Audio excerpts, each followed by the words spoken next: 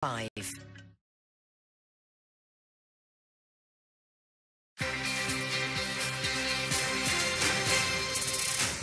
Welcome back. Mental health disorders among children and young people are on the rise, with social media and cyberbullying among the root causes. One in every eight under 19s have a mental health disorder, according to new NHS research. That rose to one in six in 17 to 19 year olds. The study included preschool children. For the first time, one in 18 under the age of 10 are thought to be suffering. And earlier, one woman told me how tough it is to get that help young. I started to experience mental health issues when I was six because I was experiencing bullying and abuse at the time, and that's when I that's when I can first recall that I wanted to end my life because I felt like I didn't fit in anywhere.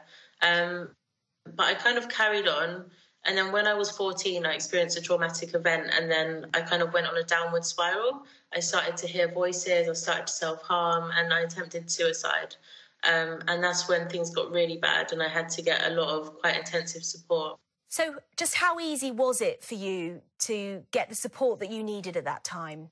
It was really difficult to get the support I needed because first, after the traumatic ha- event happened, I went to the GP and they said, you know, it's not bad enough. Like you're not gonna fit the criteria for mental health services. So they referred me to a couple of charities which could but which could help, but the waiting list for charities are often quite long as well.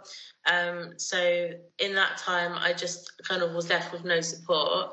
Things got worse. I started to hear voices, and I started to get progressively worse.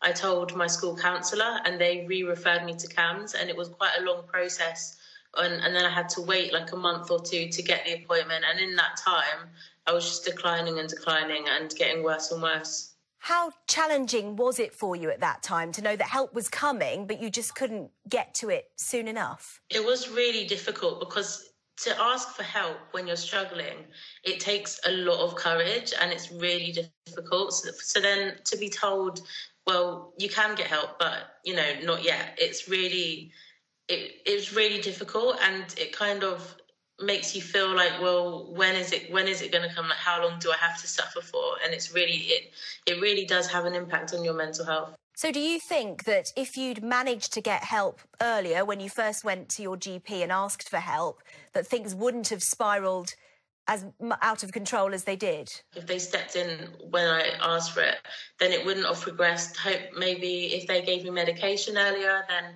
I wouldn't have started hearing the voices and I wouldn't have had to take so much time off school and I would have been able to challenge my thoughts quicker before they progressed into something so much worse.